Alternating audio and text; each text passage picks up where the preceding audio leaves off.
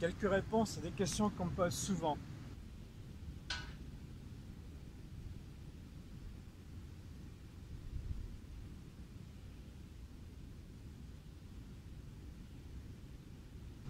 Quand on ne peut pas faire ce, cet exercice à chaîne fermée, donc j'ai montré qu'on peut utiliser le point. Alors il y a des gens qui n'arrivent pas à attraper l'épaule, le coude. Bon, ils peuvent, ça ne peut rien, faire comme ceci. Ça on sait que ça ne marche pas. Ou tout simplement, utiliser l'autre point.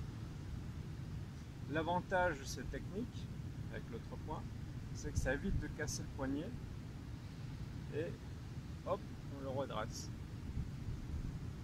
Cet exercice il marche très bien. En plus, il a tendance à ouvrir un peu plus la sacro-iliaque. Enfin, il marche tous. À chaîne supérieure fermée, c'est-à-dire que il faut vraiment euh, forcer. Euh, si on fait juste ça, ça fait rien du tout. Hein. Il faut que la force du rachis soit transmise au sacro-iliaque.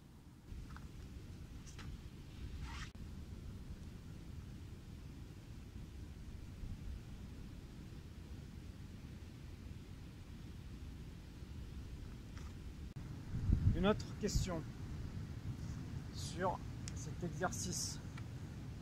Pas avoir à forcer avec le poing, il suffit d'attraper, donc euh, fermer la chaîne, et là en fin de mouvement, automatiquement, ça fait avancer l'os iliaque. Et là on force pas du tout. Évidemment, c'est la jambe derrière. Hein. Souvent, je vois que les personnes se trompent je pourrais très bien utiliser le même point pour l'autre jambe. Comme ceci. Euh, d'ailleurs, c'est même un peu physiologique, mais bon, c'est... Il n'y a pas besoin de faire comme ça. Parce que là, le poids du corps, déjà, ouvre l'articulation. Et en fin de mouvement, il y a juste à pousser un